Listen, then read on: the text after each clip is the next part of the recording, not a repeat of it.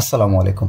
আমি আজকে তোমাদের আলোর প্রতিফলন অধ্যায়ে রশ্মি চিত্রের যে যে প্রশ্ন বা যে যে টাইপের প্রশ্ন তোমাদের বোর্ড পরীক্ষায় আসে, এরকম কয়েকটা প্রশ্ন সলভ করে দেওয়ার চেষ্টা করব। এই প্রশ্নগুলো যদি দেখো ইনশাল্লাহ রশ্মি চিত্রের যে যে প্রশ্ন বোর্ডে আসবে, তোমরা মুহূর্তের মধ্যে সলভ করে দিতে পারবা।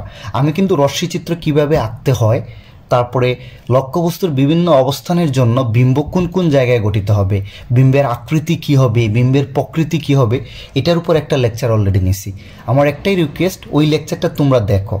এটা দেখার পর এটা হলো গিয়ে ওই লেকচারের কন্টিনিউশন অর্থাৎ পার্ট টু সো পার্ট ওয়ানটা যদি দেখো, তাহলে পার্ট টুটা তোমরা খুব ইজিলি পারবা। ওইটার লিঙ্কটা আমি ডেসক্রিপশনে দিয়ে দিব। ওইটা দেখে তারপর এটা তোমরা দেখবা। তাহলে দেখো, এই প্রশ্নটা কি? ময়মনসিংহ বোর্ড দু হাজার বিশে আসছে। একটা গুলীয় দর্পণ যাতে কোনো বস্তুর বিবর্ধন একের বেশি পাওয়া যায়।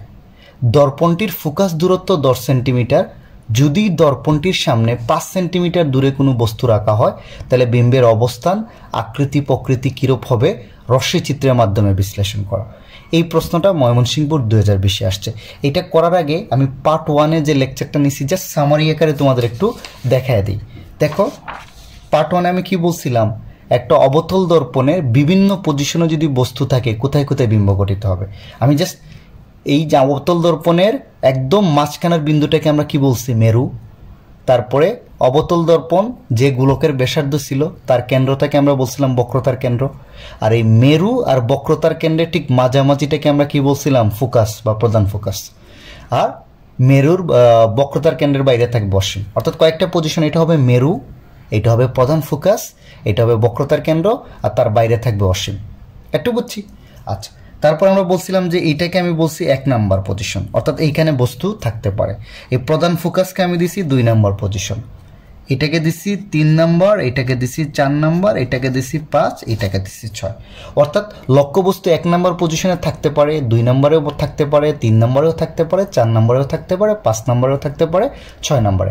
এক নম্বরে থাকা মানে কি? লক্ষ্যবস্তুটা হচ্ছে মেরু আর প্রধান ফোকাসের মাঝখানে। বা ফোকাস দূরত্বের ভিতরে। আর দুই নম্বরে থাকা মানে বস্তু হলো প্রধান ফোকাসের উপরেই অবস্থিত।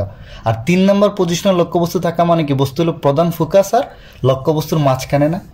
এটা। আর চার নম্বর পজিশনে মানে বস্তু বক্রতার কেন্দ্রের উপরেই অবস্থিত। পাঁচ নম্বর মানে বস্তু বক্রতার কেন্দ্র আর অসীমের মাঝামাঝি অবস্থিত। আর ছয় নম্বর মানে বস্তু যদি অসীমে অবস্থিত হয়। তাহলে এই পজিশনগুলোতে বিম্ব কোথায় গঠিত হবে? আমি বলছিলাম যে এক নম্বর পজিশনটা সবসময় মনে রাখবা, একটু ব্যতিক্রম। এক নম্বর পজিশনটা আমরা পরে শিখব, এটা আলাদা। এই দুই থেকে পাঁচ, দুই থেকে ছয় চিন্তা করো। দুই, তিন মানে এই যে এইখান থেকে। এইখান থেকে তুমি এই জায়গায় চিন্তা করো। কয়টা নাম্বার? একটা, দুইটা, তিনটা, চারটা, পাঁচটা না? এই মাঝখানে চার নাম্বার পজিশনে বিম্ব কোথায় গঠিত হবে? আমি যদি বিম্ব দিই, চার নম্বর পজিশনের বিম্ব কোথায়? চার নম্বরেই গঠিত হবে। অর্থাৎ বক্রতার কেন্দ্রে যদি বস্তু থাকে, বিম্ব কোথায় গঠিত হবে? বক্রতার কেন্দ্রেই। আর বাদবাকিতে ইন্টারচেঞ্জ হবে। পাঁচে বিম্ব থাকলে হবে তিনে। এই যে দেখো পাঁচে যদি বস্তু থাকে বিম্ব গঠিত হবে তিনে, আর তিনে বস্তু থাকলে বিম্ব গঠিত হবে কত? পাঁচে। ছয়ে থাকলে হবে দুইয়ে দুইয়ে থাকলে হবে ছয়ে। সিম্পল না? যদি ছয় নম্বর পজিশনে বস্তু থাকে, বিম্ব হবে দুইয়ে। আর দুইয়ে থাকলে ছয় ইন্টারচেঞ্জ ছয়ে থাকলে দুইয়ে দুইয়ে থাকলে ছয়ে। পাঁচে থাকলে তিনে তিনে থাকলে পাঁচে। তাহলে বিম্বের পজিশন খুব সহজে পেরে ফেললা। অর্থাৎ চিন্তা করো, আমি জাস্ট একটা এক্সাম্পল দিলাম। যদি বস্তু বক্রতার কেন্দ্রে থাকে, তাহলে বিম্ব বক্রতার কেন্দ্রে গঠিত হবে। যদি বস্তু তিন নম্বর পজিশনে থাকে মানে প্রধান ফোকাস আর বক্রতার কেন্দ্রের মাঝে, তাহলে বিম্ব গঠিত হবে পাঁচে, অর্থাৎ বক্রতার কেন্দ্র আর অসীমের মাঝখানে গঠিত হবে। তাহলে বিম্বের অবস্থান তোমরা এই চিত্রের মাধ্যমে খুব সহজে মনে রাখতে পারবা। আর একটা একটু ব্যতিক্রম। কেন ব্যতিক্রম? একটা হচ্ছে তুমি চিন্তা করবে এই যে দুই আর পাঁচ, দুই থেকে ছয়। দুই থেকে ছয় পজিশন অর্থাৎ প্রধান ফোকাস থেকে অসীম পর্যন্ত যেখানেই বস্তু রাখো বস্তুর কি বিম্ব গঠিত হবে? বাস্তব বিম্ব। আর বাস্তব বিম্ব সবসময় কি হয়? উল্টা। এটা হলো প্রকৃতি, বিম্বের প্রকৃতি। তাহলে অবতল দর্পণে দুই পজিশন মানে প্রধান ফোকাস থেকে অসীম পর্যন্ত বস্তু যেখানেই রাখো, বিম্বের প্রকৃতি বা বাস্তব আর উল্টা। আর শুধু যদি এক নাম্বার পজিশনে রাখো, এক নাম্বার, অর্থাৎ প্রধান ফোকাসের ভিতরে, মেরুয়ার পথ, তাইলে তুমি কি পাবা? বিম্বটা পাবা অবাস্তব আর কি, সোজা। অবাস্তব বিম্ব সবসময় সোজা হয়। আর বাস্তব বিম্ব সবসময় কি হয়? উল্টা হয়। আশা করি একটু বুঝতে পারছ। তাইলে এখন আসো, এটা তো প্রকৃতি পাইলাম। আর কি পাইলাম? অবস্থান পাইলাম। যে বিম্ব কোথায় গঠিত হবে? অবস্থান মানে বুঝছ তো, বিম্ব কোন জায়গায় গঠিত হবে? অবস্থান। তার অবস্থানটা কোথায়? তার প্রকৃতি পেয়ে গেলাম। বাস্তব উল্টা দুই থেকে ছয় যেখানেই থাকুক, সেটা হবে বাস্তব উল্টা। আর যদি একে থাকে তাহলে হবে অবাস্তব সোজা। তাই না? তাহলে অবতুল দর্পণে আমরা বাস্তব বিম্বও পাই অবাস্তব বিম্বও পাই। এখন আসো আকারটা। আকার মানে কি, বুঝছ তো? আকার মানে হচ্ছে যে সাইজ কি হবে? বিম্বের সাইজটা কি হবে? লক্ষ্য ধরো লক্ষ্যবস্তু এটা ছিল। ওয়ে ধরো পাঁচ সেন্টিমিটার ছিল। তাহলে বিম্ব যে তৈরি হবে, সেটা কি পাঁচ সেন্টিমিটারে বেশি হবে, কম হবে না সমান হবে সেটা? এটা তুমি যে সিরিলি মনে রেখে দাও। এই যে দেখো, একদম সিরিয়ালে যদি অসীমে থাকে অসীমে থাকে বস্তু সিরিলি মনে রাখো, তাহলে কি হবে? অত্যন্ত খর্বিত। বিম্বের আকার কি হবে? অত্যন্ত খর্বিত মানে অত্যন্ত ছোট, খর্বিত মানে ছোট। তারপরে পাঁচে যদি থাকে, অসীম আর বক্রতার কেন্দ্রে, তাহলে কি হবে? সিরিলি যাবে, খর্বিত। অত্যন্ত খর্বিত খর্বিত। মানে খুব ছোট ছোট। তারপরে কি হবে? সমান। যদি বক্রতার কেন্দ্রে থাকে, তাহলে বিম্বের দৈর্ঘ্য, লক্ষ্যবস্তুর দৈর্ঘ্য সমান পাবা সাইজ সমান সমান। অর্থাৎ এটা পাঁচ সেন্টিমিটার হলে বিম্বের দৈর্ঘ্য তুমি পাঁচ সেন্টিমিটার পাবা। আর এখানে থাকলে কি? অত্যন্ত খর্বিত খর্বিত সমান, আর তিন নম্বর পজিশনে থাকলে তুমি কি বিম্ব পাবা? বিবর্ধিত। অর্থাৎ পাঁচ সেন্টিমিটার লক্ষ্যবস্তুর দৈর্ঘ্য থাকলে তুমি পাবা হয়তো ছয় সেন্টিমিটার বা তার চেয়ে বেশি। আর প্রধান ফোকাসে থাকলে কি হবে? অত্যন্ত বিবর্ধিত। ওকে আর এক নম্বর পজিশন তো বলছি, একটু আলাদা করে মনে রাখব, অবাস্তব সোজা, আর হচ্ছে এটাও বিবর্ধিত। ডান তাহলে এই ছকটা মনে রাখলে দেখো অবতল দর্পণে কোন জায়গায় বস্তু রাখলে কোথায় বিম্ব গঠিত হবে? আকৃতি সিরিলি মনে রাখা খুব সোজা, দেখো। অত্যন্ত খর্বিত মানে অত্যন্ত ছোট, খর্বিত, সমান, বিবর্ধিত, অত্যন্ত বিবর্ধিত বিবর্ধিত, শেষ। খুব সিরিলি মনে যায় না দুই থেকে ছয় পর্যন্ত বাস্তব উল্টা শুধু একে থাকলে অবাস্তব সোজা। আর ছয়ে থাকলে দুইয়ে বিম্ব হবে, দুইয়ে থাকলে ছয়ে, পাঁচে থাকলে তিনে তিনে থাকলে পাঁচে, চারে থাকলে চারেই। শেষ। আর এটা দেখো, চিন্তা করো, এইটা লক্ষ্য লক্ষ্যবস্তুর আকৃতি হবে সমান, এইদিকে গেলে ছোট হইতে থাকবে ছোট, অনেক ছোট। বড়, অনেক বড়। ডান তাহলে এই ছকটা মনে রাখবা। এই ছকটা মনে রাখলে দেখবা তুমি প্রশ্নের আনসার খুব সহজে পারতেছো। আমি আরেকটু রিভাইজ দিচ্ছি, দেখো। আমরা কি পাইছিলাম? আলোর তিনটা ধর্ম, আমি আগের লেকচারে দেখাইছি বিস্তারিতভাবে জাস্ট এখানে দেখা দিচ্ছি। আলোর তিনটা ধর্ম তোমাদের আমি বলছিলাম, কি ধর্ম বলো তো? আলোর ধর্ম প্রথম ধর্মটা হচ্ছে, এই যে চিন্তা করো, একটা লক্ষ্য, এটা হলো একটা বস্তু। ওই একটা কি? বস্তু। আমরা প্রথম ধর্মটা হবে আলো যদি বক্রতার কেন্দ্র দিয়ে যায়। এই যে দেখো। ওকে? আমি ধরলাম দর্পণটা এদিকে আমি একটু বাড়াই দিলাম। তাহলে দেখো, আলো যদি কি হয়? বক্রতার কেন্দ্র দিয়ে যায়। এই যে। বক্রতার কেন্দ্র দিয়ে যদি দর্পণে এসে কি হয়? আপতিত হয়। বক্রতার কেন্দ্র বরাবর এসে দর্পণে পড়ে। দর্পণ আলোরে প্রতিফলিত করে না। তাহলে আলো একই পথে প্রতিফলিত হবে। অর্থাৎ বক্রতার কেন্দ্র দিয়ে আলো আসলে একই পথে কি হবে? ব্যাক করবে। সিম্পল এটা হলো আলোর এক নম্বর ধর্ম। দর্পণে বিম্ব আঁকতে এই তিনটা ধর্ম মনে রাখতে হবে। এই তিনটা ধর্ম ব্যবহার করে তুমি যে কোনো বিম্ব আঁকতে পারবা। তাহলে আলো যদি বক্রতার কেন্দ্র দিয়ে যায়, যেই পথে যাবে ওই পথে ফিরে আসবে। এটা এক নম্বর ধর্ম। ওকে দুই নম্বর ধর্মটা কি বলতেছে? যদি প্রধান ফোকাস দিয়ে যায়। একটা হলো বক্রতার কেন্দ্র দিয়ে গেলে যেই পথে ওই পথে। আর এটা হচ্ছে কি? প্রধান ফোকাস দিয়ে যদি যায়। এই যে প্রধান ফোকাস দিয়ে এসে দর্পণে আপতিত হয়, তাই না? তাইলে বলবা যে তারপরে প্রতিফলনের পর এই রশ্মিটা কি হয়ে যাবে? প্রধান অক্ষের কি হয়ে যাবে? সমান্তরাল। প্রধান অক্ষটা মানে বুঝছ তো? এই যে এইটা। এই যে মেইন লাইনটা আছে না, যেখানে প্রধান ফোকাস, বক্রতার কেন্দ্র, এই জিটটাকে আমরা বলি প্রধান অক্ষ। তাহলে যদি আলোকরশ্মি বক্রতার কেন্দ্র দিয়ে আসলে যেই পথে আসবে, ওই পথে ফিরে যাবে। আর যদি প্রধান ফোকাস দিয়ে আসে তাহলে প্রতিফলনের পর প্রধান অক্ষের সমান্তরাল হয়ে যাবে। দেখো তো সমান্তরাল হয়েছে না এটা? আর এটা হচ্ছে দুই নম্বরটার উল্টা তিন নম্বর ধর্মটা হচ্ছে যদি প্রধান অক্ষের সমান্তরালভাবে দর্পণে আপতিত হয়, এই যে। প্রধান অক্ষের সমান্তরালভাবে দর্পণে আপতিত হয়। তাহলে প্রতিফলনের কি পর কি হয়ে যাবে? প্রধান ফোকাস দিয়ে যাবে। এটা দুই নম্বরটার কি? উল্টা। এই যে দেখো। ডান। তাহলে তিনটা ধর্ম আবার বলি। যদি বক্রতার কেন্দ্র দিয়ে আলো দর্পণে পড়ে, যেই পথে আসব ওই পথেই ফিরে যাবে। কান ধরে উঠবস করে বলবে যে, বাবা, ভুল করছি, এই পথে আসছি কেন? একই পথে ফিরে যাই। সেকেন্ডটা বলছে, যদি প্রধান ফোকাস দিয়ে আসে, তাহলে এই যে দেখো, এই লম্বা টানের বা প্রধান অক্ষের সমান্তরাল হয়ে যাবে। আর এটার উল্টা, প্রধান অক্ষের সমান্তরাল আসলে যাবে প্রধান ফোকাস দিয়ে, আর প্রধান ফোকাস দিয়ে আসলে প্রধান অক্ষের সমান্তরাল হবে। এই তিনটা ধর্ম ইউজ করে দেখব আমি, সবগুলোর বিম্ব আঁকবো। তাহলে এখন আমি এইটার আনসার শুরু করলাম হ্যাঁ? এই কনসেপ্টগুলো কিন্তু আমি পার্ট ওয়ানে বিস্তারিত আকারে দেখাইছি হ্যাঁ? তোমরা এখানে দেখে নিবা। এখন দেখো, এই প্রশ্নটা দেখো। এটা আসছে ময়মনসিং বোর্ড। এখানে দেখো, প্রথমে আমাকে চিনতে হবে, এটা কিন্তু তোমার পরীক্ষায় দেন এটা আমি আঁকার জন্য আঁকছি হ্যাঁ? এটা দেখো, একটা গুলীয় দর্পণ, যাতে কোনো বস্তুর বিবর্ধন একের বেশি পাওয়া সম্ভব। তাহলে এই দর্পণটা কি, উত্তল হবে না অবতল? সেটা আমাকে কেউ বলতে পারবা? একটু আমি বলি, তাহলে দেখো তোমরা মিলাও, তোমরা যদি চিন্তা করো। তাইলে সবসময় মনে রাখবা, দর্পণ তো কয় প্রকার? গুলীয় দর্পণ, একটা হচ্ছে কি, অবতল, আরেকটা কি? উত্তল। রাইট আমরা কি জানি? উত্তল দর্পণে সবসময় কি পাই? খর্বিত বিম্ব পাই। উত্তল দর্পণে বিম্বের আকৃতি কি হয়? খর্বিত। অর্থাৎ যে বিম্ব পাও, তার দৈর্ঘ্য হবে লক্ষ্যবস্তুর দৈর্ঘ্যের চেয়ে ছোট। আর অবতল দর্পণে আমরা কি পাই? আমি তোমাকে একটু আগে দেখাইছি। একটু আগে দেখাইছি না, দেখো তো? এই চার নম্বর পজিশনে দেখো সমান পাই। কখনো ছোট পাই বিম্বের আকৃতি কি লক্ষ্যবস্তুর তুলনায় কখনো ছোট পাচ্ছি, কখনো সমান পাচ্ছি, কখনো বড় পাচ্ছি? তাই না? তাহলে অবতল দর্পণে বিম্বের আকৃতি কি হইতে পারে? লক্ষ্যবস্তুর তুলনায় ছোট হইতে পারে, বড় হইতে পারে, আবার কি হইতে পারে? সমান হইতে পারে। বাট উত্তল দর্পণে অলওয়েজ খর্বিত বিম্ব পাবা, কখনো সমান বা বড় বিম্ব পাবা না। বাট অবতল দর্পণে তিনটেই তুমি পাইতে পারো। এখন এই বিবর্তন জিনিসটাকে একটু দেখি, আমি তোমাকে বলি হ্যাঁ? বিবর্তন বলতেছে এম সমান বিবর্তনকে আমরা এম দ্বারা প্রকাশ করি। অর্থাৎ লক্ষ্য বস্তুর দৈর্ঘ্য সরি বিম্বের দৈর্ঘ্য আর লক্ষ্য বস্তুর দৈর্ঘ্যের অনুপাতকে আমরা কি বলব? বিবর্ধন বলি। ধরো, এই যে একটা।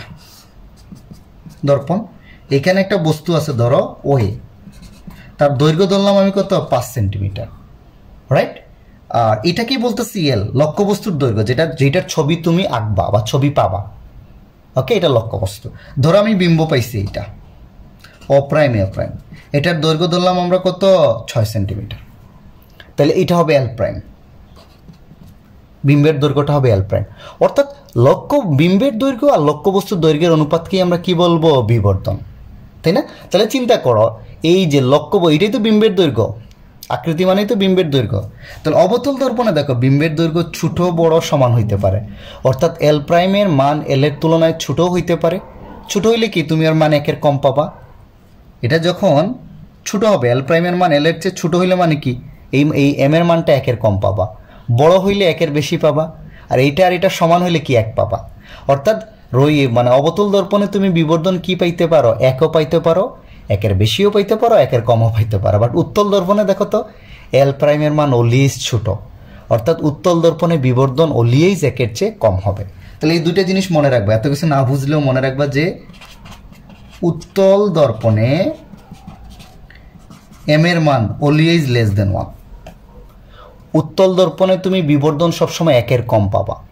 এই যে সূত্র, কারণ এল প্রাইমের মানটা সবসময় এল এর চেয়ে কম হবে। এটাই উত্তল দর্পণের বৈশিষ্ট্য। এইটা। আর অবতল দর্পণে তুমি কি পাবা? এম এর মানটা গ্রেটার দেন ওয়ানও পাইতে পারো ওয়ানের সমানও পাইতে পারো লেস দেন ওয়ানও পাইতে পারো। একটু বুঝছি আমরা? তাহলে আমার এখানে প্রশ্নটা এখন আবার একটু পড়ি। একটা গুলীয় দর্পণ যাতে কোনো বস্তুর বিবর্ধন একের বেশি পাওয়া সম্ভব। তাই গুলীয় দর্পণ আমরা জানি দুইটা, একটা হলো অবতল আর একটা হলো উত্তল। তাহলে উত্তল দর্পণে তো কখনো একের বেশি বিম্ব মানে বিবর্ধন পাবো না। তাহলে অবশ্যই এখানে যে দর্পণটা বলছে, সেই দর্পণটা কি? একটা অবতল দর্পণ। রাইট একটু বুঝে ফেলছি আমরা। তার মানে আমরা যে দর্পণের ইউজ করব, ব্যবহার করব, বা এখানে যে দর্পণটার কথা বলা আছে ইনডাইরেক্টলি কিন্তু বলা আছে। ডিরেক্ট বলে নাই। ডিরেক্ট বলতে পারতো না, এটা একটা অবতল দর্পণ বাট বলা নাই। তাহলে তোমাকে বুঝে নিতে হবে। বিবর্তন দেয়া থাকলে খুব সোজা। ওয়ানের ছোট হইলে সেটা উত্তল দর্পণ, আর বাদ বাকি যেটাই থাকুক সেটা অবতল দর্পণ। শেষ, পারব? আর ওয়ানের ছোট বললে কিন্তু সেটা অবতলও হইতে পারে। এটা মনে রাখবা কিন্তু হ্যাঁ? আচ্ছা তারপরে দেখো আরও কিছু ধর্ম আছে কিন্তু। অনেক সময় আরও দুইটা জিনিস একটু মনে রাখবা। উত্তল দর্পণে সবসময় কি বিম্ব গঠিত হয়? অবাস্তব সোজা। যদি বললে একটা দর্পণে অলিয়েজ অবাস্তব সোজা বিম্ব গঠিত হয়, সেটা হলো উত্তল। আর অবতল দর্পণে কি? বাস্তব, অবাস্তব, সোজা, উল্টা সবটাই বিম্ব গঠিত হয়। এটা গেল। তাহলে এটা একটা অবতল দর্পণ। দর্পণটার ফোকাস দূরত্ব দেয়া আছে কত? দশ। ফোকাস দূরত্ব মানে বুঝছ তো? এই যে এফ এর মান, ছোট এফ এর মান। কত? দশ। ফোকাস দূরত্ব আমরা কি বলি? এই যে মেরু থেকে প্রধান ফোকাস পর্যন্ত দূরত্বকে আমরা কি বলি? ফোকাস দূরত্ব। একটু বুঝছি। মেরু থেকে প্রধান ফোকাস পর্যন্ত দূরত্বকে আমরা কি বলি? ফোকাস দূরত্ব। এই ফোকাস দূরত্ব কত দেয়া আছে? দশ সেন্টিমিটার। এখন আমাকে বলছে, যদি দর্পণটির সামনে পাঁচ সেন্টিমিটার দূরে কোনো বস্তু রাখি, তবে বিম্বের অবস্থান আকৃতি, প্রকৃতি চিত্রের মাধ্যমে দেখাইতে। তাহলে তোমাকে কি বলছে? যে মেরু থেকে বা দর্পণের সামনে থেকে প্রধান ফোকাসের দূরত্ব কত? দশ না? এই পিএফটা দশ না? আর বস্তু রাখতে বলছে কত? পাঁচ সেন্টিমিটার দূরে। তাহলে বস্তুর অবস্থান তুমি আমাকে বলো, এই জায়গায় হবে না প্রধান ফোকাসের ভিতরে? এই যে দেখো তো। একটু বুঝছি আমরা? না, বুঝি নেই।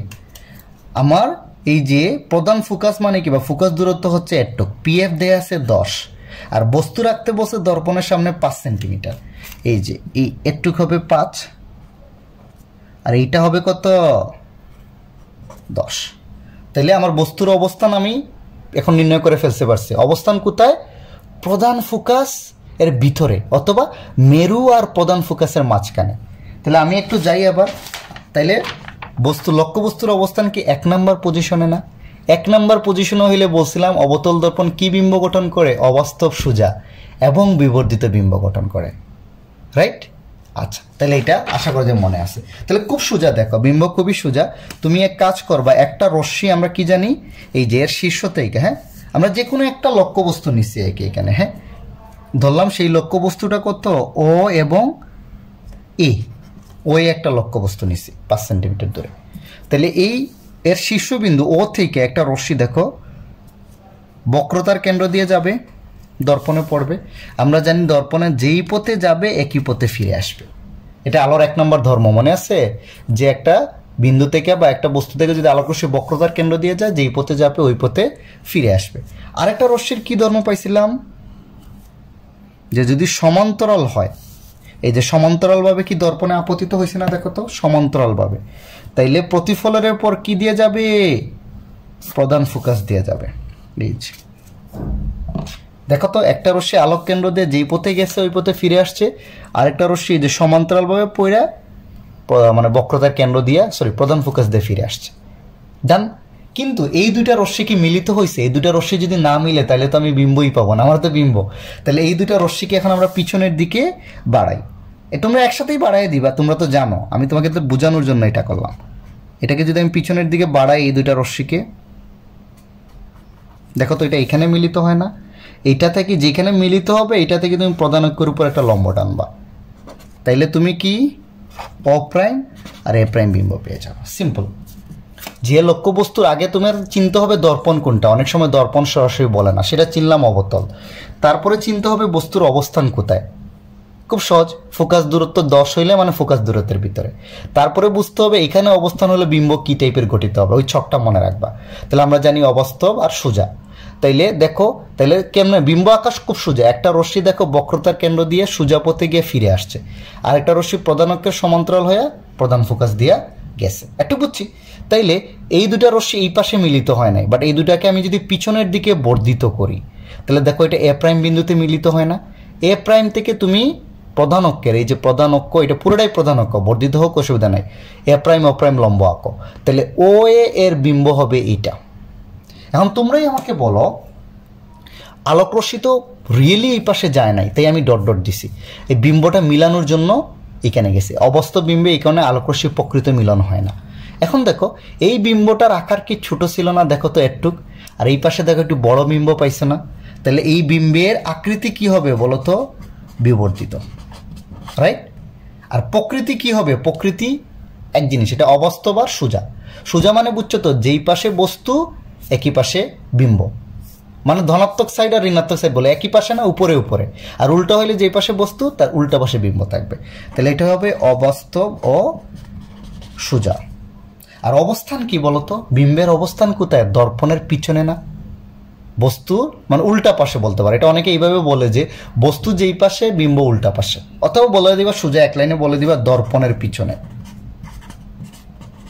দর্পণের পিছনে। পিছনে মানে বস্তু তো সবসময় সামনে থাকবে। তাহলে বিম্ব কোথায়? দর্পণের পিছনে। একটু বলে দিলেই হবে। এখন তাহলে এটা তো আঁকতে পারছ। আমি এই প্রশ্নটা শুধু তোমাদের লিখে দিছি পুরা, যে তোমরা কীভাবে আনসার করবা। দেখো, এটার আনসারটা তোমরা এইভাবে করবা। এটা চার মার্কের প্রশ্ন কিন্তু হ্যাঁ? এইগুলো চার মার্কের প্রশ্ন আসে সাধারণত। এটার আনসারটা কি করবা দেখো? বলবা, প্রথমে কিন্তু ওই জিনিসটা বলতে হবে, যে উদ্দীপকের দর্পণটা একটা অবতল দর্পণ। কারণ আমরা জানি, অবতল দর্পণে বিবর্ধন একের বেশি পাওয়া সম্ভব। প্রথমে বললাম যে এটা একটা অবতল দর্পণ। কেন? কারণ একমাত্র অবতল দর্পণেই কি একের বেশি বিম্ব মানে বিবর্ধন পাওয়া সম্ভব। আবার দর্পণটির ফোকাস দূরত্ব দশ সেন্টিমিটার হয়। দর্পণ হতে পাঁচ সেন্টিমিটার দূরে রাখা বস্তুর অবস্থান হবে প্রধান ফোকাস আর মেরুর মাঝখানে। বুঝতে পারছি?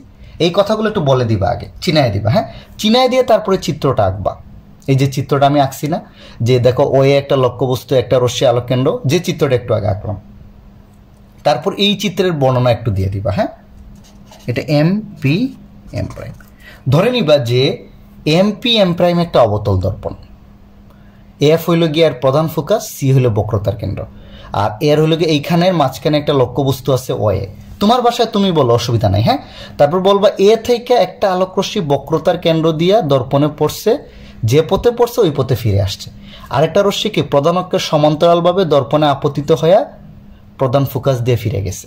এই দুইটা রশ্মিকে পিছনের দিকে বর্ধিত করলে এরা কোথায় মিলিত হয় এ প্রাইম বিন্দুতে? এ প্রাইম থেকে প্রধান অক্ষের উপর এ প্রাইম ও প্রাইম লম্ব আঁকি। তাহলে এ প্রাইম ও প্রাইমই হবে এ ও এর কি? অবাস্তব বিম্ব বা এ ও এর বিম্ব? আর লাস্টে তো বাকি নিচে নিচে, এটা আমি এখানে উপরে উপরে দিছে, নিচে নিচে বলে দিবা। বিম্বের অবস্থান বলবা, এই তিনটা ওয়ার্ড বলতে হবে কিন্তু। বিম্বের অবস্থান কি? দর্পণের পিছনে। বিম্বের প্রকৃতি হবে অবাস্তব এবং সুজা আকৃতি হবে বিবর্তিত। এই তিনটা জিনিস নিচে নিচে মানে এরকম আর কি। বিম্বের অবস্থান বললাম। তারপরে বলবা আকৃতি। তারপরে বলবা প্রকৃতি। এরকম নিচে নিচে এই তিনটা জিনিস বলে দিবা। শেষ।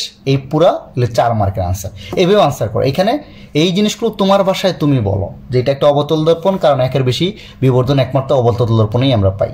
আর যেহেতু ফোকাস দূরত্ব দশ সেন্টিমিটার, বিম্বের লক্ষ্যবস্তু দূরত্ব পাঁচ হইলে সেটা হবে কি? ফোকাস আর মেরুর মাঝখানে। তারপর এই কথাগুলো একটু বললা যে এটা একটা অবতল দর্পণ, এই লক্ষ্যবস্তুর এর থেকে একটা রশ্মি এই দিকে গেছে এইদিকে ফিরে আসছে, এটাকে এই দিকে গেছে, পিছনের দিকে বাড়াইলে লম্ব। মানে একদম তোমার ভাষায় বলো, তারপরে লাস্টে তিন লাইনে বলো দাও, অবস্থান, প্রকৃতি, আকৃতি। আশা করি এটা পারবা। এখন আসো আমরা পরের প্রশ্নে যাই।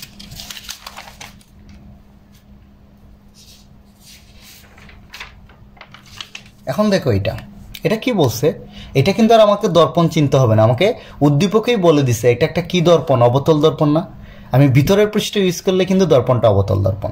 তাই না? আর যদি এই যে বাইরের পৃষ্ঠটা ইউজ করতাম, তাহলে দর্পণটা কি হইতো? উত্তল দর্পণ। একটু তো আমরা সবাই জানি। আচ্ছা এখন আমাকে বলছে উদ্দীপকের দর্পণের ফোকাস দূরত্ব কত? পাঁচ মিটার। ফোকাস দূরত্ব একটু আগেই বলছি। মেরু থেকে প্রধান ফোকাস পর্যন্ত দূরত্বকে আমরা কি বলি? ফোকাস দূরত্ব। এটা দেয়া আছে পাঁচ মিটার। লক্ষ্যবস্তুকে যদি দশ মিটার দূরত্বে রাখি, তবে প্রতিবিম্বের গঠনের সচিত্র বর্ণনা দাও। এখন আমাকে বলছে, এখানে তো লক্ষ্যবস্তু দিছিল এইখানে বাট আমাকে কিন্তু বিম্ব আঁকতে বলে না এইখানের জন্য। আমাকে বলছে এর ফোকাস দূরত্ব পাঁচ, আর লক্ষ্যবস্তুকে যদি দশ মিটার দূরত্বে রাখি, তাহলে বিম্ব। তাহলে দেখো, চিন্তা করে, আমরা কি জানি? এই যে বক্রতার বেসার্ধ আছে না? এটা ফোকাস দূরত্বের দ্বিগুণ। সবসময় মনে রাখবা, এই ফোকাস দূরত্বকে আমরা কি দ্বারা প্রকাশ করি? এফ দ্বারা। আর বক্রতার বেসার্ধকে কি দ্বারা প্রকাশ করি? আর দ্বারা। ফোকাস দূরত্ব হচ্ছে বক্রতার বেসার্ধ অর্ধেক। এই যে মেরু থেকে বক্রতার বেসার্ধ পর্যন্ত দূরত্বকে বলি আর বক্রতার দূরত্ব হ্যাঁ? আর মেরু থেকে প্রধান ফোকাস দূরত্বকে এলে ফোকাস দূরত্ব এফ আর আমরা এটা সবাই জানি, এই মেরু আর বক্রতার কেন্দ্রের ঠিক মাঝখানের বিন্দুটা হচ্ছে প্রধান ফোকাস। বা প্রধান ফোকাস হচ্ছে বক্রতার কেন্দ্রের বা বক্রতার ব্যাসার্ধের অর্ধেক F equal to R by two অথবা আমরা উল্টাভাবে বলতে পারি যে বক্রতার ব্যাসার্ধ হচ্ছে ফোকাস দূরত্বের কয় গুণ? দ্বিগুণ। তাহলে চিন্তা করো, প্রধান ফোকাস যদি পাঁচ মিটার হয়, তাহলে বক্রতার ব্যাসার্ধ কত হবে? দশ মিটার। তাই না? এটা ডাবল এটা। তা আমাকে বলছে, লক্ষ্যবস্তু যদি দশ মিটার দূরত্বে রাখি, তাহলে আলটিমেটলি আমাকে বলছে আসলে এখন যদি লক্ষ্যবস্তু বক্রতার কেন্দ্রে থাকে, তাহলে বিম্ব কোথায় গঠিত হবে? মা, বিম্বের আকৃতি প্রকৃতি কী হবে? সেটা একটু চিত্রের মাধ্যমে বুঝাই দিতে। একটু বুঝছি ক্লিয়ার তো? আচ্ছা এখন এই প্রশ্নটা যদি এরকম বলতে পাই যদি বস্তুটাকে এগারো মিটার দূরত্বে রাখি, তাহলে কিন্তু তখন লক্ষ্যবস্তুর অবস্থান কি হবে? বক্রতার ব্যাসার্ধের বাইরে। যদি বলতো নয় মিটার তাহলে তখন লক্ষ্যবস্তুর অবস্থান হবে কি? বক্রতার কেন্দ্র আর প্রধান ফোকাসের এইখানে। সে একটু চিনে নিবে মানে একটা অঙ্ক করে চিন্তা করব। তাহলে এখন দেখো, এই চিত্রে যাই। যদি বস্তুর অবস্থান বক্রতার কেন্দ্রে হয়, তাহলে আমরা কি জানি? বিম্বের অবস্থানও কোথায় হবে? বক্রতার কেন্দ্রে। আকৃতি কি হবে? সমান হবে। আর সবগুলোর জন্য বাস্তব আর উল্টা। তাই না? তাহলে আমি একে ফেলি, দেখো তো। আমি ধরে নিচ্ছি যে আমার বস্তুটা কোথায় অবস্থিত? এই যে দেখো, বক্রতার কেন্দ্রে অবস্থিত। তাই তো? আমার হিসাবে তাই। ওকে আচ্ছা। তাহলে বলবা, বক্রতার কেন্দ্র থেকে আমরা কি জানি? একটা রশ্মি যদি কি যায়? প্রধান অক্ষর সমান্তরাল হয়, এই যে। তাহলে প্রতিফলনের পর এটা কি দিয়ে যাবে? প্রধান ফোকাস দিয়া যাবে। এই যে। একটু বুঝছি। আর আরেকটা রশ্মি দেখো তুমি। যদি এটা তার বক্রতার কেন্দ্র দিয়ে তুমি যাওয়াইতে পারবা না। তার মানে অপর দুইটা ধর্ম রাখতে হবে। সমান্তরাল হলে প্রধান ফোকাস দিয়ে যাবে, আর প্রধান ফোকাস দিয়ে গেলে কি হয়ে যাবে? বক্রতার কেন্দ্রের কি হয়ে যাবে? সমান্তরাল হয়ে যাবে এই যে।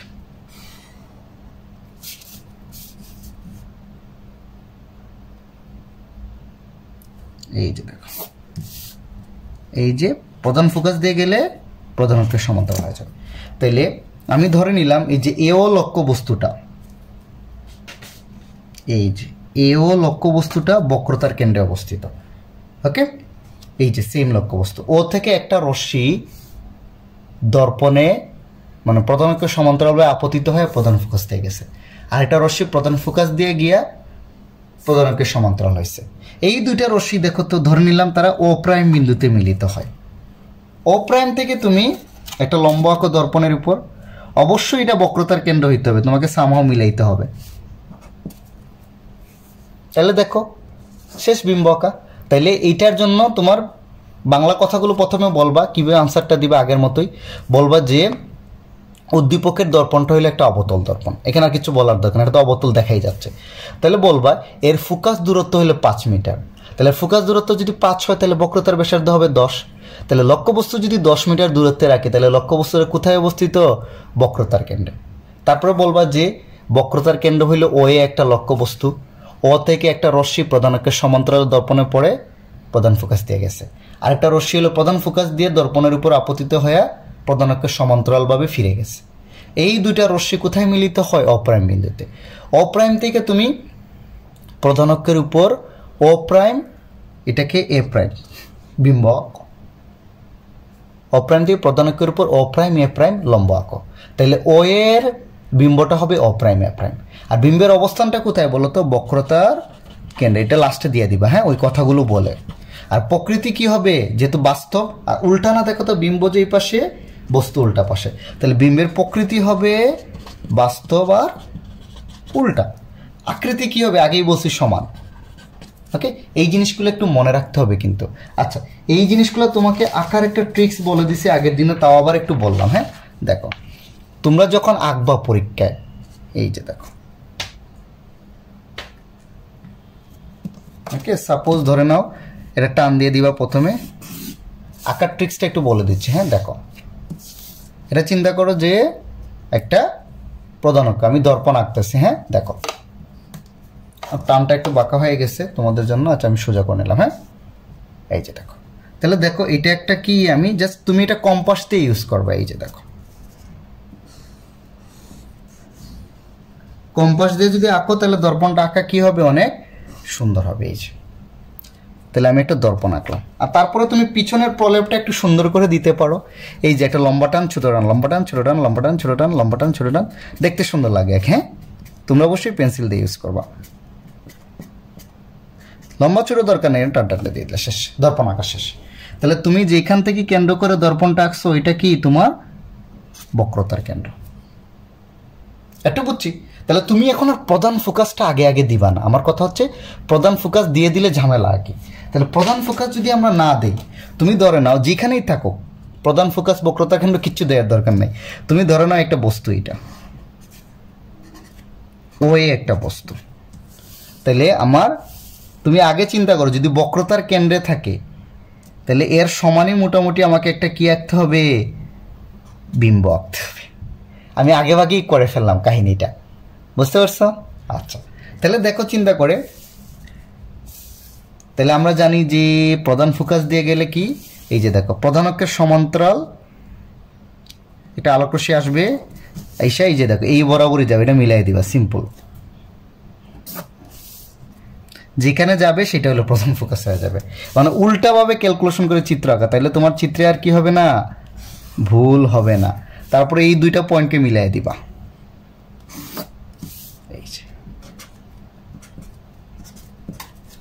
তারপরে তুমি জানো যে যেখান দিয়ে গেছে, এটা হলো প্রধান ফোকাস মানে একটু চিত্র যদি আগে প্রধান ফোকাস দিয়ে দাও, বক্রতার কেন্দ্র। মানে আমাদের হাতের একুরিটা আঁকি তো স্কেল দিয়া এইভাবে। অনেক সময় কি একটু এরর থাকে। সো একদমই যে বক্রতার কেন্দ্রে মিলাইতে গেলে তোমাদের ঘাম ছুটে যায়। তাহলে আগেই ব্যাক ক্যালকুলেশন করবা। এটার মোটামুটি সমান একটা একে নিবা। ওই অনুযায়ী মিলাই নিবা। শেষ। ওকে আসো। পরের অঙ্কে যাই। এটা দেখো, তিন নম্বর প্রশ্নটা। এটা দেখো তোমার আসছে কুমিল্লা বোর্ড দুই হাজার বিশে। এটা একটা অবতল দর্পণ, এটা অবভিয়াসলি ওকে প্রদত্ত লক্ষ্যবস্তুর বিম্ব কীরূপ হবে চিত্রের মাধ্যমে ব্যাখ্যা করা। এখানে লক্ষ্যবস্তুটা কোথায় দেয়া আছে? বক্রতার কেন্দ্রের বাইরে। অর্থাৎ বক্রতার কেন্দ্র আর অসীমের মাঝামাঝি। বক্রতার কেন্দ্রের বাইরে, লাস্টের জায়গায় কি অসীম না? এইখানের বিম্বটা তোমাকে আঁকতে হবে। তাহলে আমরা সবাই জানি কি বলতো? এই পাঁচ নম্বর বক্রতার কেন্দ্রের বাইরে মানে কি? বস্তু পাঁচ নম্বর পজিশনে আছে। অর্থাৎ বক্রতার কেন্দ্র আর অসীমের মাঝখানে যদি বস্তু থাকে, তাহলে বিম্ব কোথায় গঠিত হবে? তিন নম্বরে। পাঁচে থাকলে তিনে। প্রধান ফোকাস আর কি বক্রতার কেন্দ্রের মাঝে বিম্ব গঠিত হবে। আর পাঁচে পজিশনে থাকলে বিম্বের আকৃতি কি হবে বলো তো খর্বিত না মানে ছোট বিম্ব পাবা তুমি। এই তো ডান। তাহলে দেখো আমি এই বিম্বটা আঁকতেছি।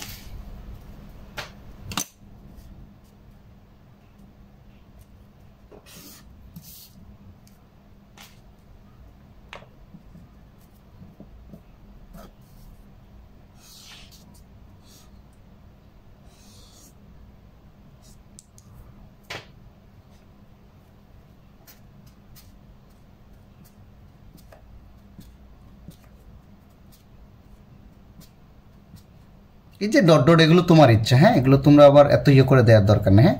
জাস্ট মোটামুটি যাতে দেখতে একটু সুন্দর লাগে। যেখান থেকে আঁকছো, সেটা হবে তোমার কি? বক্রতার কেন্দ্র। এটার মাঝামাঝি একটা তুমি কি দিয়ে দাও? প্রধান ফোকাস। আগেও দিয়ে দিতে পারো বা পরেও দিতে পারো, আগে যেটা শিখেলাম হ্যাঁ? আচ্ছা তাহলে দেখো, এর বাইরে বস্তুটা আছে না? বক্রতার কেন্দ্রের বাইরে। ধরলাম এটা একটা লক্ষ্যবস্তু। ওয়ে। আমার এটার বিম্ব আঁকতে হবে। আমার এটার বিম্ব আমি জানি যে এই জায়গায় হবে। এই যে সি আর এফ এর কি মাঝামাঝি। এখানে বানাইতেই হবে সামহাও ওকে তাহলে একটা রশ্মি কি হচ্ছে দেখো তো? প্রধান অক্ষের সমান্তরাল একটা রশ্মি প্রতিফলিত হয়ে কি দিয়ে যাবে? আমরা সবাই জানি এটা কি দিয়ে যাবে? প্রধান ফোকাস দিয়া যাবে। একটু বুঝছি। আরেকটা রশ্মি আমরা কি জানি? প্রধান ফোকাস দিয়ে গেলে কি হয়? প্রতিফলনের পর প্রধান অক্ষের কি হয়ে যাবে? সমান্তরাল হয়ে যাবে, এই যে দেখো।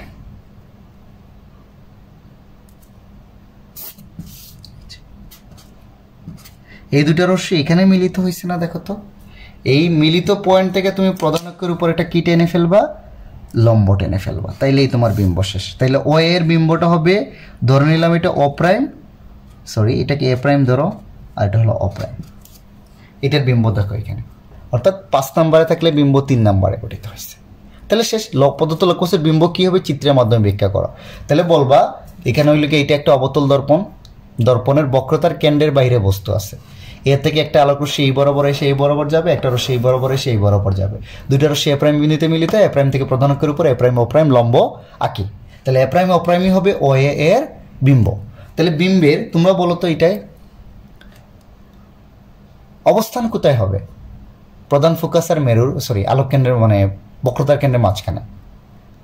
প্রকৃতি কি হবে? বাস্তব আর উল্টা না রিয়েল বিম্ব এবং উল্টা। আর আরেকটা কি? আকার। আকার কি? খর্বিত না, ছোট না, শেষ, ডান। শেষ। এটা তুমি বাংলায় বলে দিবা। এখন আসো বড় গ। এটা কুমিল্লা বোর্ডে আসছে, এটা তিন মার্কের এটা হলো চার মার্কের উদ্দীপকের দর্পণটিতে অবাস্তব বিম্ব গঠন সম্ভব কিনা? এই দর্পণে তুমি অবাস্তব বিম্ব পাবা কিনা? তাহলে আমরা জানি অবতল দর্পণে বাস্তব অবাস্তব আমরা দুই টাইপের বিম্বই পাই। তাহলে কোথায় আনতে হবে বস্তুটাকে এক নাম্বার পজিশনে অবতল দর্পণে বস্তু যদি প্রধান ফোকাসের ভিতরেই থাকে, তখন আমরা কি পাবো? অবাস্তব বিম্ব পাবো, তাই না? এটাই জানতে চাইছি। এখানে বলছে যে এই দর্পণে তুমি কি অবাস্তব বিম্ব পাবা কিনা? তাহলে বলবা বাংলায় হ্যাঁ এই দর্পণে আমি অবাস্তব বিম্ব পাবো। বাট সেই ক্ষেত্রে অবশ্যই বস্তুটাকে আমার কোথায় নিয়ে আসতে হবে? প্রধান ফোকাসের ভিতরে। তারপরে তুমি বিম্বটা এঁকে ফেলবা। বিম্ব তুমি অনেকগুলোই আমি অলরেডি আঁকাইছি, তারপর আমি একটু এঁকে দিচ্ছি হ্যাঁ?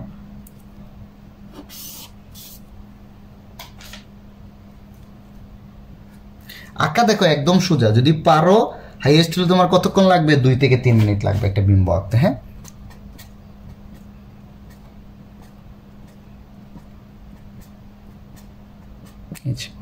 তারপরে আমি ধরে নিচ্ছি এটা হচ্ছে আমার বক্রতার কেন্দ্র।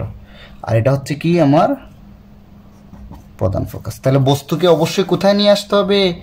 প্রধান ফোকাসের ভিতরে। একটু বুঝছি? আচ্ছা একটু বুঝলে আমরা জানি যে একটা রশ্মি কি হবে? বক্রতার কেন্দ্র দিয়ে গেলে যেই পথে আসবে, ওই পথেই ফিরে যাবে। যে যাচ্ছে, ফিরে আসছে। এটাকে আমি পিছনের দিকে বর্ধিত করব। যেহেতু অবাস্তব বিম্ব, দর্পণের পিছনে গঠিত হবে। আরেকটা রশ্মি দেখো তো, এটা একটু ক্রিটিক্যাল হ্যাঁ? কাছাকাছি রশ্মি দুইটা হয়, সবসময় মনে রাখবা। দর্পণের সমান্তরালের প্রধান অক্ষের উপর আপতিত হয়ে কি দিয়ে যাবে? এই যে দেখো, প্রধান ফোকাস দিয়ে যাবে। এই যে প্রধান ফোকাস দিয়ে যাবে। এটাকে যদি আমি পিছনের দিকে বর্ধিত করি, তাহলে দেখো এই জায়গায় বস্তুতে মিলিত হয়। এটা থেকে তুমি দর্পণের উপর একটা লম্ব এঁকে দিবা। তাইলেই তুমি, ধরো এটা ও এ বস্তু ছিল, তুমি তার এ প্রাইম ও প্রাইম বিম্ব পেয়ে গেলা। তাহলে বিম্বের অবস্থান কোথায়? দর্পণের পিছনে। এটা আমি দুই, তিনবার আঁকায় ফেলছি অলরেডি তারপরে এর আকৃতিটা কি হবে? বিবর্ধিত না, দেখো তো? ডান। তারপরে প্রকৃতি কি? অবাস্তবে অংশজান। তাহলে দেখো, এই দুইটা প্রশ্ন খুব ইজিলি তোমরা আনসার করতে পারবা। যে থিঙ্ক করো, চিন্তা করো, তাইলেই পারবা। এখন আসলে পরের অংশ চিন্তা এটা কি বলছে, দেখো তো?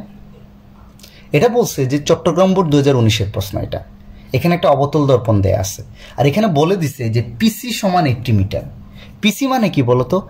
পি মানে মেরু সি মানে বক্রতার কেন্দ্র। আমরা জানি মেরু থেকে বক্রতার কেন্দ্র পর্যন্ত দূরত্বকে আমরা কি বলি? বক্রতার ব্যাসার্ধ। তাহলে পিসি যদি এইট্টি সেন্টিমিটার দেয়া থাকে পিসি মানেই আর এইট্টি সেন্টিমিটার। তাহলে বক্রতার ব্যাসার্ধ কত দিয়ে আসে আশি সেন্টিমিটার। তাহলে ফোকাস দূরত্ব কত হবে? মানে পিএফ ফোকাস দূরত্ব পিএফ না? মেরু থেকে প্রধান ফোকাস পর্যন্ত বা পিএফ সমান, এটাকে আমরা বলি ছোটো হাতের এফ সমান হবে বক্রতার ব্যাসার্ধের অর্ধেক, সমান হলে গিয়ে ফোরটি সেন্টিমিটার একটু বুঝছি আমরা? তাইলে বক্রতার ব্যাসার্ধ যদি আশি দেওয়া থাকে, ফোকাস দূরত্ব হচ্ছে কত? চল্লিশ। এখন আমাকে বলছে লক্ষ্য বস্তুটি দর্পণের মেরু হতে পঞ্চাশ সেন্টিমিটার দূরে রাখলে বিম্বের অবস্থান আকৃতি প্রকৃতি রশ্মিচিত্রের মাধ্যমে, দেখো। লক্ষ্যবস্তুটি দর্পণের মেরু হতে কোথায় রাখতে বলছে পঞ্চাশ সেন্টিমিটার দূরে। তাহলে আমরা কি জানি বলতো? দর্পণের মেরু এটা না? এটা তো প্রধান ফোকাস। মেরু আর প্রধান ফোকাসের মধ্যবর্তী দূরত্ব আমরা কত জানি? ফর্টি না? কারণ ফোকাস দূরত্ব কত? ফর্টি। আর এই যে এই টোটাল দূরত্বটা আমরা কত জানি? এইটটি না? ডান? বুঝতে পারছি? কারণ বক্রতার ব্যাসার্ধ আশি তাহলে বস্তুটাকে কোথায় রাখতে বলছে? পঞ্চাশ সেন্টিমিটার দূরে। তাহলে দেখো তো, তাহলে বস্তু এটা যদি হয় মানে এইখানে রাখতে বলছে না? তাহলে বস্তু, লক্ষ্য বস্তুর অবস্থান কোথায় হবে? প্রধান ফোকাস আর মেরুর সরি আলোক বক্রতার কেন্দ্রের মাঝামাঝি। এই অবস্থানটা তোমাকে চিনে ফেলতে হবে কিন্তু ভাই। তাই না? এটা চল্লিশ, এটা আশি। তাহলে পঞ্চাশ হইলে কি এই দুটার মাঝামাঝি? অবস্থানটা খালি জানতে হবে। একজ্যাক্ট জানা লাগবে না মানে কোথায়। তাহলে বলো লক্ষ্য বস্তুটা কোথায় অবস্থিত? প্রধান ফোকাস আর মেরুর মাঝখানে। আর এই যে ডিস্টেন্সটার একটু কাছাকাছি রাখবা প্রধান ফোকাসের কারণ এই টোটালটা হলো চল্লিশ। আর এখানে হলো দশ আসছে, চল্লিশের পরে দশ। তাহলে পঞ্চাশ একটু ফোকাসের দিকে হেলায় থাকবে। একটু গেলি। এখন আসো, আমরা কি জানি? একটু আবার একটু গোথ্রু করি। আমরা জানি যে যদি লক্ষ্য বস্তুটা তিন নম্বর পজিশনে থাকে, তাহলে বিম্ব কোথায় গঠিত হবে? পাঁচে। অর্থাৎ বক্রতার কেন্দ্র আর অসীমের মাঝে। আর তিন নম্বর পজিশনে থাকলে বিম্বের আকৃতি হবে বিবর্ধিত আর বাস্তব আর উল্টা। আমার ছক জানা মানে আমি সব জানি। সব জানতা সংসারের মতো হ্যাঁ? তাহলে বিম্ব আঁকা কি কঠিন? বিম্ব আঁকা কিন্তু সহজ। একটা রশ্মি কি হবে? এই যে দেখো। প্রধান অক্ষের সমান্তরালভাবে আপতিত হবে দর্পণে। তারপরে কি দিয়ে যাবে? প্রধান ফোকাস দিয়ে যাবে। এই যে দেখো। প্রধান ফোকাস দিয়ে গেল। আরেকটা রশ্মি আমরা কি জানি? এই যে দেখো। যদি প্রধান ফোকাস দিয়ে যায় ওকে তাহলে কি হবে? প্রতিফলনের পর কি হয়ে যাবে? সমান্তরাল হয়ে যাবে। এই যে দেখো এই যে তাহলে এই দুইটা রশ্মি কোথায় মিলিত হয়েছে ধরলাম, এটার নাম দিলাম কত? এটা তারা বস্তুর নাম দিয়ে দিছে, ওই অনুযায়ী করবা এ বি তাহলে ধরলাম এটা এ প্রাইম বিন্দুতে মিলিত হয়েছে এ প্রাইম থেকে তুমি প্রধানক্ষের পর একটা লম্ব টানো। তাহলে দেখো এটার বিম্ব তুমি এটা পেয়ে গেছো। পজিশন কিন্তু দেখো তো, কোথায়? লক্ষ্যবস্তু ছিল প্রধান ফোকাস আর বক্রতার কেন্দ্রের মাঝে। আর তোমার বিম্বের অবস্থান হবে বক্রতার কেন্দ্র আর অসীমের মাঝে। তাহলে বিম্বের আকৃতি কি বিবর্জিত না? ডান হয়ে গেল। তারপরে বাস্তব আর উল্টা। তিনটা জিনিসই তোমাকে জানতে হবে। তাহলে খুব সোজা কিন্তু এটা জাস্ট থিঙ্ক করো কোথায় কি হবে। আগে থেকে জানলে কিন্তু বিম্ব আঁকা কোনো ব্যাপারই না। ওই তিনটা রশ্মি, সমান্তরাল হলে প্রধান ফোকাস দিয়ে যাবে, প্রধান ফোকাস দিয়ে গেলে সমান্তরাল হবে, আলোক কেন্দ্র দিয়ে গেলে একই পথে ফিরে আসবে। ওই তিনটা রশ্মি ইউজ করলেই যে কোনো বিম্ব আঁকতে পারবা। শেষ। তারপর আসো পরের দিকে এখন দেখো এটা। এটা কি বলছে? একজন দন্ত চিকিৎসক হ্যাঁ? কাজের সুবিধার জন্য ছয় সেন্টিমিটার ফোকাস দূরত্ব বিশিষ্ট কি ইউজ করে গুলীয় দর্পণ। এক্স ব্যবহার করে। এখন সবসময় মনে রাখবা, দন্ত চিকিৎসক। আচ্ছা অবতল দর্পণে কি হয় বলতো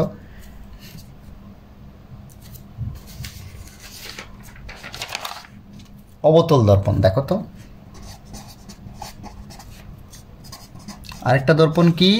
গুলীয় দর্পণের ক্ষেত্রে আরেকটা হচ্ছে উত্তল দর্পণ রাইট আচ্ছা অবতল দর্পণে আমরা কি পাই বলতো? বাস্তব অবাস্তব দুই বিম্বই পাই, তাই না? এবং আবার কি পাই বলতো? বিবর্ধিত, খর্বিত বা সমান, তিন টাইপের বিম্বই পাই, আর উত্তল দর্পণে শুধু খর্বিত বিম্ব পাই। একটু বুঝছি? তার মানে চিন্তা করো, যে জিনিসকে আমার বড় করে দেখতে হবে, সেখানে কি উত্তল দর্পণ ব্যবহার করা যাবে? মানে কোনো একটা ছোট জিনিস বা লক্ষ্যবস্তুর আকৃতি যদি ছোট হয়, যেমন আমরা মাইক্রোস্কোপকে কি দেখি, দেখো তো, খুব ছোট্ট একটা জিনিসকে দুই হাজার গুণ বাড়ায় বড় করে দেখি। তো এইরকম অবতল দর্পণ কি করে? একটা ছোট জিনিসকে বড় করে দেখায় মানে বিবর্ধিত করে দেখায়। সে সমান বা খর্বিত করে বাট মেনলি আমি এই ধর্মটা দেখতে চাচ্ছি হ্যাঁ? সে একটা ছোট জিনিসকে বড় করে দেখাইতে পারে অবতল দর্পণ। আর উত্তল দর্পণ এটা পারে না, শুধুমাত্র খর্বিত। বাট যেখানে তাহলে বুঝো, যেখানে আমার একটা জিনিসকে ছোট করে দেখা দরকার, সেখানে আমি উত্তল দর্পণ ইউজ করব। আর যেখানে একটা জিনিসকে বড় করে বা বেশি বড় করে দেখা দরকার, সেখানে আমরা কি ইউজ করব? অবতল দর্পণ। তাহলে এখন চিন্তা করো, গাড়ির যে সাইড ভিউটা আছে না সাইড মিররটা দেখবা এটা একটা উত্তল দর্পণ। গাড়ির যে লুকিং গ্লাস ওকে সেটা একটা উত্তল দর্পণ। এখানে কেন উত্তল দর্পণ ইউজ করি? তুমি নিজেই চিন্তা করো। এই ছোট আয়নায় দেখবা, গাড়ি, এত এত বড় গাড়ি গাড়ি, ট্রাক, লরি, এগুলো কিন্তু এই ছোট্ট আয়নায় দেখা যায়। তাহলে একটা বড় বস্তুকে তুমি ছোট করে দেখতেছো না? এই কারণে সেখানে আমরা উত্তল দর্পণ ইউজ করি। এখানে অবতল দর্পণ ইউজ করলে একটা ট্রাককে তুমি দ্বিগুণ বা তিনগুণ দেখতা। তখন কি হইতো? ট্রাকের এক কোনাও হয়তো তুমি দেখতে পারতা না। বুঝতে পারছ? এটা গেল একটা। আর অবতল দর্পণে বিবর্জিত করি কোথায় ইউজ করি? যেমন দন্ত চিকিৎসক। বা চিকিৎসকরা যখন নাক, কান, গলা এগুলো দেখে লাইট দিয়ে দেখেন ওরা ছোটো জিনিসকে বড় করে দেখতে হয়। সে একটা দাঁত, দাঁতকে কি আরও ছোটো করে দেখার দরকার আছে? ওই জিনিসকে বড় করে দেখতে হয়। তাই দন্ত চিকিৎসকরা কি দর্পণ ইউজ করবে? অবতল দর্পণ। আর যেখানে ছোট করে, যেমন গাড়ির সাইড মিরর এইসব জায়গায় আমরা কি ইউজ করব? বা মাইক্রোস্কোপ এগুলোতে আমরা উত্তল দর্পণ ইউজ করব। একটু বুঝছি? তাহলে এই অঙ্কটা দেখো। এই অঙ্কটা কি বলছে? যে একজন দন্ত চিকিৎসক কাজের জন্য ছয় সেন্টিমিটার ফোকাস দূরত্ব বিশিষ্ট গুলীয় দর্পণ এক্স ব্যবহার করেন।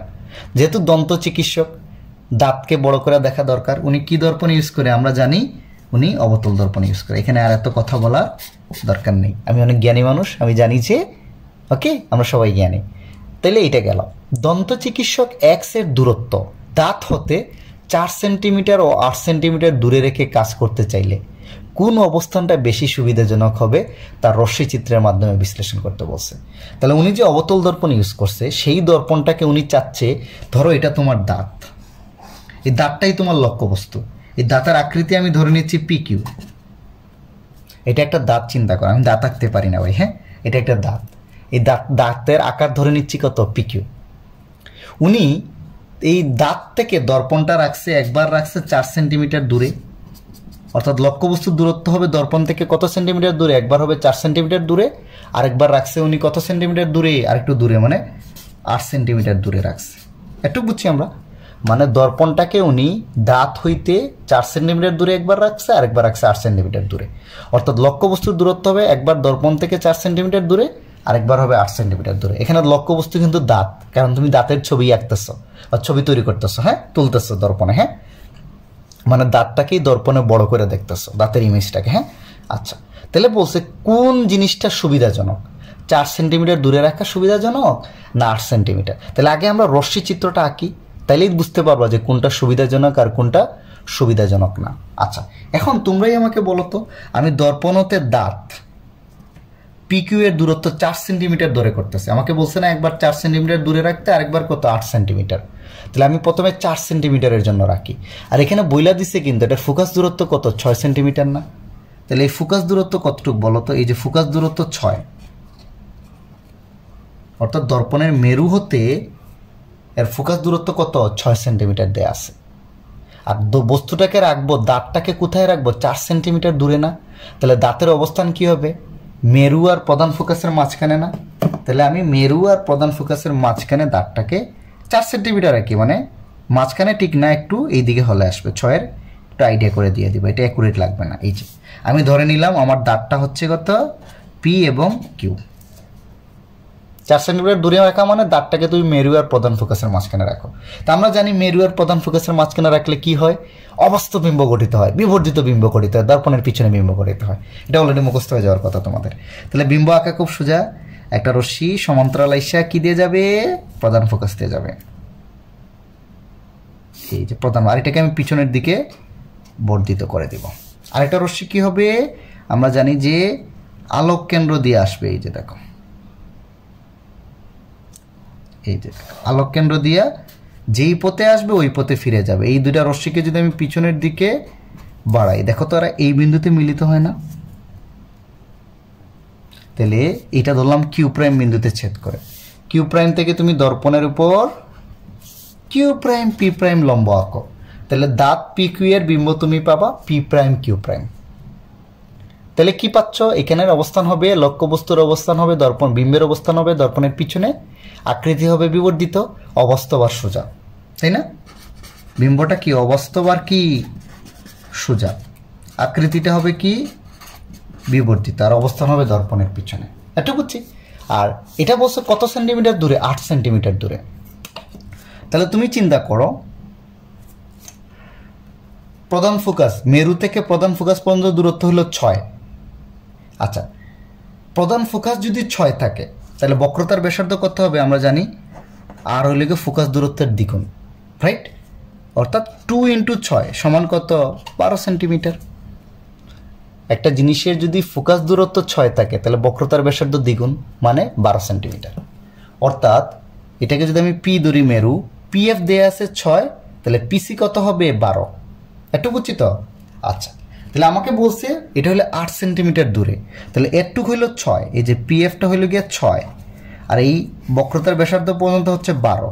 তাহলে আট সেন্টিমিটার মানে কি? বস্তু এই আর এইটার মাঝখানে অবস্থিত না মানে দাঁতটা বলছে এখন এই জায়গার মাঝখানে। এই যে আমি এখানে মাঝখানে দিলাম। তাহলে তার বিম্বটা কীরকম হয় দেখি তো? আমরা জানি যে তিন নম্বর পজিশন না, এখানে গঠিত হবে, দেখবা। এটা কি দিয়ে যাবে? প্রধান ফোকাস দিয়ে যাবে। সমান্তরাল হলে প্রধান ফোকাস দিয়ে যাবে। আরেকটা রশ্মি হলো কি জানি আমরা? ওকে এটা একটু দর্পণটা বাড়ায় দিতে হবে হ্যাঁ? ধরে নাও যে আমি এটা প্রধান ফোকাস দিয়েই যাচ্ছে, তোমরা ধরে নিও হ্যাঁ? এটা আসলে যাবে কোথায়? এই দুইটা পয়েন্ট এক জায়গায় হবে হ্যাঁ? প্রধান ফোকাস দিয়ে গেলে দেখো, আমি জাস্ট এখানে জায়গা ছোট হয়ে গেছে, তাই আঁকতে পারতেছি না, এই যে। এই দুটা রশ্মি এখানে মিলিত হয় না। এটা থেকে তুমি দর্পণের উপর এটা আঁকে না তাহলে এটার বিম্ব তুমি মানে পি কিউ এর বিম্ব তুমি কি পেয়ে যাবা? পি প্রাইম কিউ প্রাইম পেয়ে যাবা। তাহলে এটাও দেখো সেম বিম্ব। কি পাচ্ছি আমি? এটা বাস্তব এটা শুধু এটার সাথে ডিফারেন্স এটাও কিন্তু বিবর্ধিত বিম্ব। বড় বিম্ব পাইছি না, এটাও বড় করে পাচ্ছি। দাঁতকে দুই ক্ষেত্রেই বড় করে দেখতে পারতেছি। বাট ডিফারেন্সটা হচ্ছে কি, এটা হলো অবাস্তব আর সোজা। এটা হচ্ছে কি বাস্তব আর উল্টা না। তাহলে মনে রাখবা যে যেসব বিম্ব সোজা হয় সেই সব বিম্বগুলিকে যদি কোথাও মানে দেখা টেকা লাগে তাহলে সোজা বিম্বটা ইউজফুল বেশি। মানে এই বিম্বটা কি অবাস্তব আর সোজা না? এই বিম্বটা কি বাস্তব আর উল্টা না? তাহলে বিম্ব যদি সোজা থাকে, তাহলে সেটাকে আমার কি খুব সহজে আমরা কি করতে পারি? ব্যবহার করতে পারি। বা বড় করা যদি বিম্ব সোজা থাকে, ওই বিম্বটাকে আমি ইজিলি কি করতে পারি? দেখার জন্য অনেক সুবিধাজনক হয়। আর উল্টা থাকলে ওটা দেখার জন্য একটু কম সুবিধাজনক হয়। তাইলে বুঝতেই পারতেছে কোন পজিশনটার সুবিধাজনক? এইটা। ওকে সব সোজা বলে দিবা যে এটা যেহেতু অবাস্তব, সোজা বিম্ব গঠন করে, সোজা বিম্ব হইল কি? দেখার জন্য অনেক বেশি সুবিধাজনক, উল্টা বিম্বের তুলনায়। তাহলে দুইটার ক্ষেত্রেই তো বিবর্ধিত হচ্ছে। তাহলে সোজা বিম্বর ক্ষেত্রে মানে এই পজিশনটা হবে তোমার জন্য অধিক সুবিধাজনক। আশা করি তোমরা এই টাইপের প্রশ্ন আসলে এখন মুহূর্তের মধ্যে অ্যান্সার দিতে পারবা। Okay thanks for watching